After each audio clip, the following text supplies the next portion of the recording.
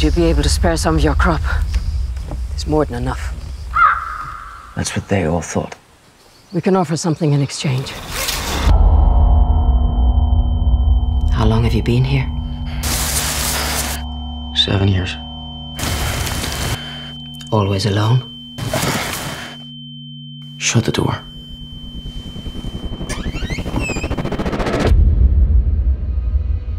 She likes you. Do you like her?